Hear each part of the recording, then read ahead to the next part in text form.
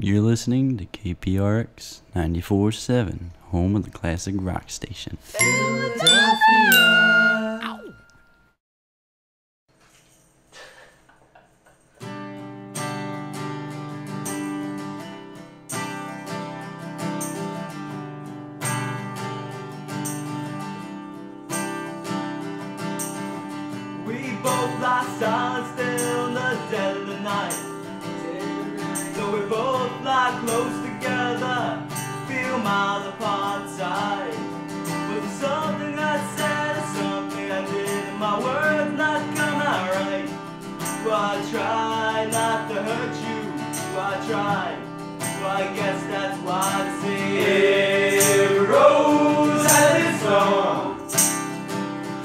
Israel.